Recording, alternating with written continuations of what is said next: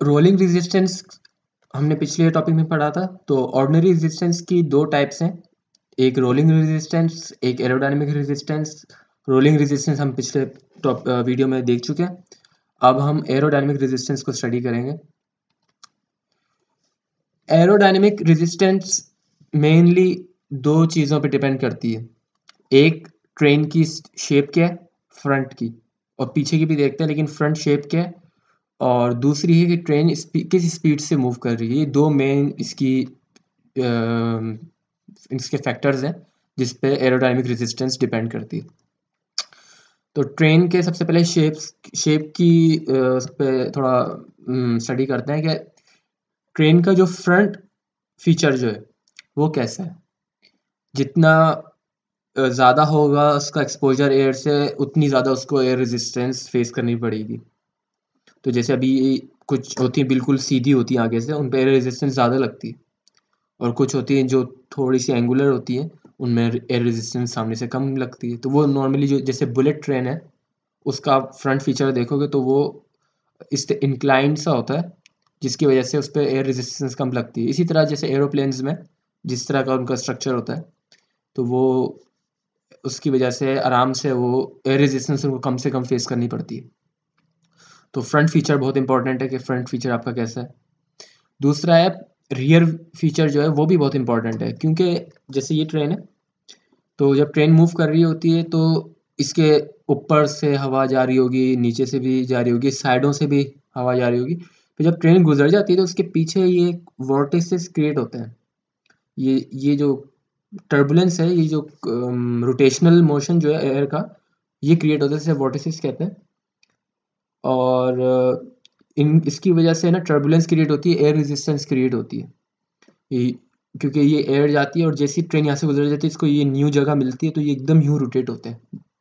ये मोशन ऐसे यूँ रोटेट होता है मतलब आप इधर डस्ट पार्टिकल्स हों तो आपको ये डस्ट ऐसे मूव करती हुई दिखेंगी, उससे पता चलता है कि इनका मोशन यूँ है। ये रेजिस्टेंस क्रिएट होती है। तो फ्रंट पे तो क्रिएट होती है एयर की वजह से resistance rear feature rear side पे भी ये ट्रेन के जो है, ये रेजिस्टेंस क्रिएट होती है। तो ये भी बहुत इंपॉर्टेंट है कि इस, इनको स्टडी भी करना होता है। और इसके अलावा ये है कि ऐसा भी होता है कि ट्रेन में जैसे ये गैप है मतलब अभी जो पीछे है जो हमने ये देखे, ये एक वैगन वाली ट्रेन है।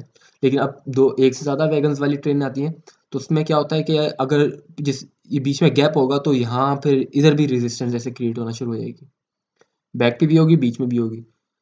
अच्छा मॉडर्न ट्रेन में ये जगह फिल्ड होती है। देखा होगा मॉडर्न ट्रेन से हम इस वैगन से दूसरी वैगन में भी जा सकते हैं।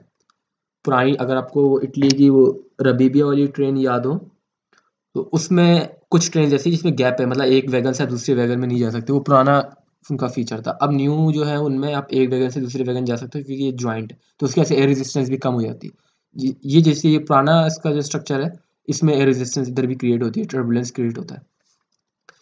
तो मतलब अगर ये इसमें बैक पे नहीं है तो इधर मतलब ये एक वैगन वाली है तो इधर क्रिएट हो जाएगी रेजिस्टेंस एक से ज़्यादा होगी तो इधर भी क्रिएट होती है, अगर ये फ़ील्ड ना हो तो।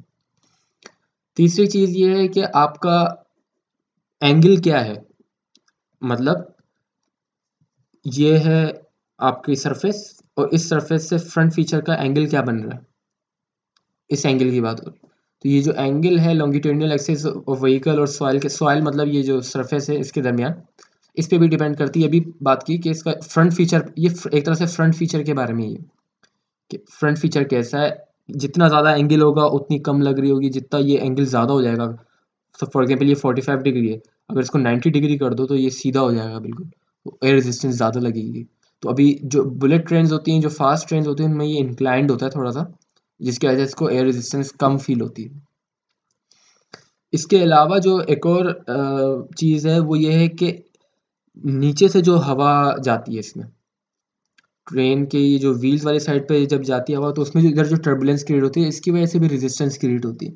तो अभी जो मॉडर्न ये पुराना डिज़ाइन है, इसमें ये हवा जाती थी और टर्बुलेंस क्रिएट होती थी ये अब जो है नया डिज़ाइन है। नए डिज़ाइन के अंदर ये है कि आप में नीचे जगह कम से कम रखते हैं ताकि हवा ना घुसे। तो वरना वो टर्बुलेंस क्रिएट करेगी। तो फ्रंट साइड भी इंपॉर्टेंट है रियर साइड भी इंपॉर्टेंट है और फ्रंट मतलब ये एंगल वह इम्पोर्टेंट है और नीचे से भी हवा ना घुसे, ये भी इम्पोर्टेंट इन सब की वजह से रेजिस्टेंस क्रिएट होती है। तो एक और जो शेप तो है ही, बाकी इसके अलावा साइडों से भी रेजिस्टेंस फेस होती है क्योंकि हवा जो है, इसकी ट्रेन की वॉल्स और विंडोज़ पे भी लग रही होती है। तो उधर भी आपकी काफ़ी रेजिस्टेंस महसूस होती है ट्रेन को। और इस मतलब रेजिस्टेंस का मतलब है कि एनर्जी लॉस जिस स्पीड से आप जा सकते हो, इस रेजिस्टेंस की वजह से नहीं जा पा रहे होगे। ये रेजिस्टेंस इसलिए हम रेजिस्टेंस को पढ़ते हैं कि हमारा लॉस कितना हो रहा है। तो ये हमारी लेटरल रेजिस्टेंस है जो कि साइडों से लग रही है। इसके अलावा अगर जैसे पाकिस्तान की ट्रेन है खिड़कियाँ खुली हुई हैं तो और, और ज़्यादा रेजिस्टेंस क्रिएट होगी। विंडोज़ ओपन होंगी और ज़्यादा रेजिस्टेंस क्रिएट होती है। या जिस तरह भी हमने पीछे वाला इसमें देखा था इसमें ये बीच इस ये तो सही है न्यू मॉडर्न ट्रेन है इसमें ये ठीक है। जो पुरानी ट्रेन है उसमें बीच में जो गैप होता था उधर भी ये रेजिस्टेंस क्रिएट होती थी। तो और अगर ऊपर से कोई छत छत से थोड़ा वेंटिलेटर टाइप का सा है वेंटिलेशन के लिए आपने छत पे वो कुछ रखा हुआ है तो वहाँ भी फिर ये ट्रबलेंस क्रिएट होता है तो उसकी वजह से रेजिस्टेंस क्रिएट होती है। तो ये सारी रेजिस्टेंस जो है एयर की वजह से, ये एरोडाइनमिक रेजिस्टेंस ज़्यादा होती है रोलिंग रेजिस्टेंस के मुकाबले में एरोडाइनमिक रेजिस्टेंस की जो इम्पैक्ट है वो ज़्यादा है।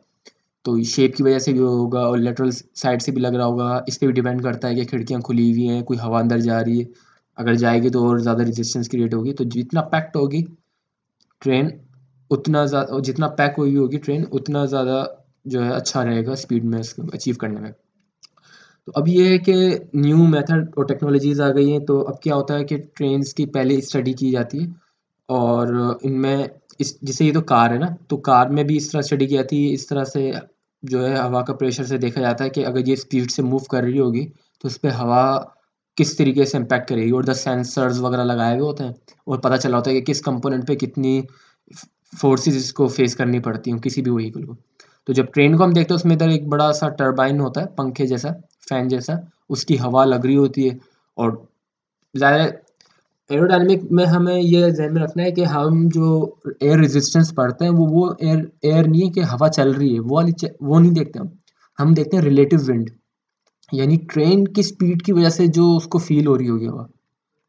ज़रूरी नहीं है जब फॉर एग्जांपल आप ट्रेन के ऊपर खड़े हो जाओ और स्पीड से चल रहे हो तो आपको महसूस होगा बहुत तेज़ हवा चल रही है। लाजमी नहीं है आप उतर के खड़े हो तो आपको वही हवा महसूस हो।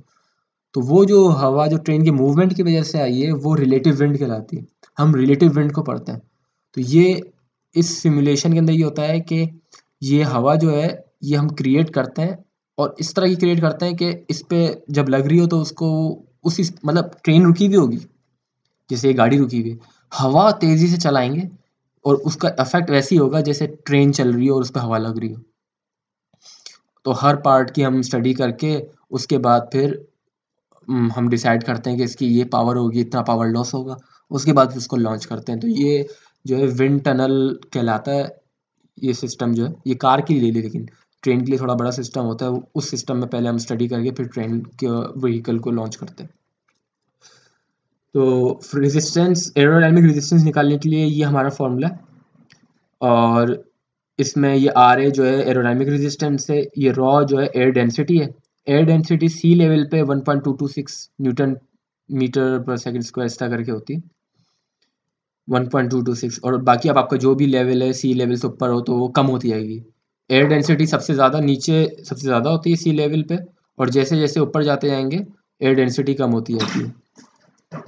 एयर डेंसिटी कम होती जाती है। इसके अलावा सी डी जो है वो कोफिशेंट है, जो कि इस एक्सपेरिमेंट से निकलता है। जो ये ये जो एक्सपेरिमेंट है, इस एक्सपेरिमेंट से हमारा ये सी डी की वैल्यू निकलती है कि कित, क्या कोफिशेंट होगा और ये एक्सपेरिमेंट्स के थ्रू डिफाइन करते हैं। तो पहली जो स्टार्टिंग वैगन होती है जहाँ ड्राइवर बैठा होता है, वहाँ पे तकरीबन इसकी वैल्यू 1.2 से 1.4 ली जाती है अमूमन। और जो पीछे वाले व्हीकल है, उनमें ये वैल्यू 0.8 से 1 तक ली जाती है, जो पीछे जो वैगन्स लगी हुई होती है, इसके साथ कनेक्टेड तो ये एक्सपेरिमेंट से निकलती है सी वैल्यू जब ये ट्रेन लॉन्च कर रहे होते हैं बना के तो उस वक्त सी वैल्यू बता देते हैं कि भाई ये वैल्यू है सी की, क्योंकि एक्सपेरिमेंट कर चुके होते हैं। उसके बाद एस जो है वो सरफेस एरिया के सामने का सरफेस एरिया क्या है? फ्रंटल सेक्शन का सरफेस एरिया एस कहलाता है। टोटल एरिया होगा वो एस कहलाएगा। और जिस स्पीड से ट्रेन मूव करेगी ज़ाहिर जो मैक्सिमम स्पीड होती है, उस हिसाब से हम सोचते हैं कि अगर मैक्सिमम स्पीड से मूव कर रही हो तो क्या एयर रेजिस्टेंस होगी? तो वो वी होती तो इससे हमारी ये एरोडाइनमिक रेजिस्टेंस निकलती तो काफ़ी सारी अलग अलग मतलब अभी हमने जो स्टडी कर लिया है एरोडाइनमिक रेजिस्टेंस भी स्टडी कर ली रोलिंग रेजिस्टेंस भी स्टडी कर ली, ये दोनों रेजिस्टेंस ऑर्डनरी रेजिस्टेंसेज हैं। उनकी काफ़ी सारी फॉर्मुलेशन हैं जो अलग अलग जो है साइंटिस्ट ने अलग अलग रिसर्चर्स ने अपनी अपनी दी हुई अलग अलग इलेक्ट्रो अलग अलग लोकोमोटिव के हिसाब से। कोई ट्रेन स्लो चलती है या तेज़ चलती है, या मेट्रो है, या आर्टिकुलेटेड है, बोगीज टू बोगीज वाली है उन सब के हिसाब से एक अलग फॉर्मुलेशन बनी हुई है। तो दो तरह के हमारे पास फॉर्मुलेशन है, एक बायनोमियल फॉर्मुलेशन एक ट्राइनोमियल फॉर्मुलेशन है। बायनोमियल में ये ये रोलिंग रेजिस्टेंस है ए और ये बी वी स्क्वायर ये एरोडाइनमिक रेजिस्टेंस का पार्ट है। तो कहते हैं ए की वैल्यू आप 2.4 ले लो, अगर आपका लो स्पीड ट्रेन है मीडियम में भी 2.4 लो हाई स्पीड में 1.6 ले लो, क्योंकि मूव जितनी ज़्यादा स्पीड होगी, उतनी कम रोलिंग रेजिस्टेंस होती जाती है। और इसके अलावा स्विट्ज़रलैंड ने ये टू तो ये अलग अलग वैल्यूज़ हैं। कोई सी भी आप वैल्यू यूज़ कर सकते हो अपने टॉप अपने स्टडी के हिसाब से जो आप ट्रेन यूज़ करो उसमें वो ये आ जाएगा। और ये एरोडाइनमिक रेजिस्टेंसेज हैं। तो ये स्पीड पे डिपेंड करती हैं। इधर वी है स्पीड है। वज़न कितना है ट्रेन का इस पर डिपेंड कर रही होती है। तो ये सब चीज़ें जो है ये, ये एक फॉर्मुलेशन है। इसी तरह एक और फॉर्मुलेशन भी है। उसमें, जैसे इसमें रोलिंग रेजिस्टेंस और एक और रेजिस्टेंस जो है एरोडाइनमिक रेजिस्टेंस है, एक और तीसरी इन्होंने ग्रेड्स की भी दी हुई है, यानी स्लोप की भी दे दी साथ में। यहाँ ये डी जो है स्लोप के हिसाब से। तो अलग मतलब ये वैसे इंपॉर्टेंट नहीं है, लेकिन बस इसलिए कि इसको मतलब ज़्यादा याद तो नहीं कर सकते इन सब चीज़ों को। बस ये है कि जिस टॉपिक के लिए भी आपको उठानी है तो आपको पता होना चाहिए कि इस टाइप की फॉर्मुलेशन आप यूज़ कर सकते हो, कोई सी भी फॉर्मुलेशन यूज़ कर सकते हो। तो मेट्रो के लिए मशहूर ये वाली है। बोरिसोस्की की जो फॉर्मुलेशन है, ये मशहूर है, इसमें सी की वैल्यू थ्री पॉइंट टू लेते हैं। डी हमारा ये है ई e ये है तो आसानी से आप रेजिस्टेंस निकाल सकते हो बहुत जल्दी से। ज़्यादा कैलकुलेशन में पढ़ने की ज़रूरत नहीं पड़ती। सिर्फ़ वेलोसिटी आपको चाहिए होगी, बाकी सारी वैल्यूज़ ये गिवन सी गिवन है डी गिवन है ई गिवन है। वेलोसिटी की वैल्यू डाली, जो कि जो आपकी डिज़ाइन स्पीड वाली वेलोसिटी होगी, वो डालो और आपको आपको आपको रोलिंग रेजिस्टेंस और और एरोडाइनमिक रेजिस्टेंस ये सब रेजिस्टेंस मिल जाएगी। मतलब ऑर्डनरी रेजिस्टेंस सारी मिल जाएँगी तो ये हमारी ऑर्डनरी रेजिस्टेंस थी जो कि फ्लैट कंडीशन के लिए थी, यानी कोई स्लोप नहीं है स्ट्रेट थी मतलब कोई कर्व नहीं है, और यूनिफॉर्म स्पीड से चल रही थी जब कोई एक्सेलरेशन नहीं है। अब हम अगले टॉपिक में अब लाइन से पहले ये देखेंगे कि अगर स्लोप आ जाए तो उसकी वजह से क्या रेजिस्टेंस क्रिएट होती है। तो नेक्स्ट वीडियो में हम स्लोप रेजिस्टेंस की वीडियो रेजिस्टेंस को स्टडी करेंगे।